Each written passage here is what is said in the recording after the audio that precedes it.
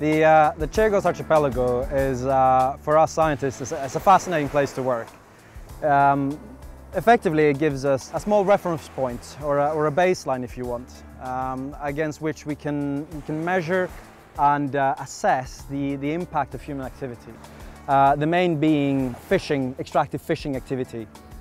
And, and so when we scientists, we're really interested in having these reference points like Chagos because we can sort of measure the impact of different types of management and we can provide um, input into governments and into stakeholders on how to better manage and how to impact, uh, preserve the wildlife around here.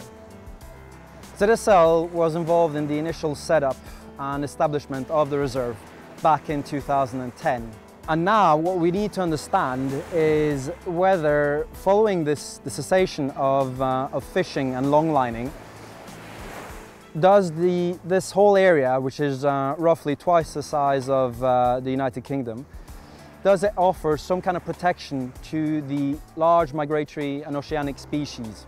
It's widely understood that large oceanic species like tuna, billfish and oceanic sharks have suffered serial depletion throughout the world's ocean an area the size of Chagos may be able to allow some population a small break from, uh, from this fishing pressure. And uh, we're really interested to see as a team of scientists whether the populations are recovering.